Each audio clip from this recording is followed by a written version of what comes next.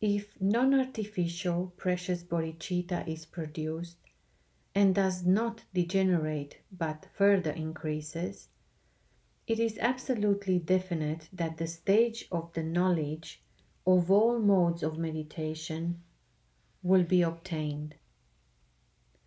Those who want the lotus of high status to bloom and to taste the honey of the highest good rely upon the hundred light rayed sun of bodhicitta, the supreme origin of the Buddhas and their children.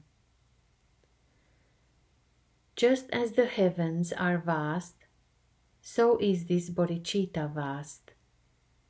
Just as the seas are deep, so is this bodhicitta deep. Bodhicitta unsettles even the great vastness of the firm earth.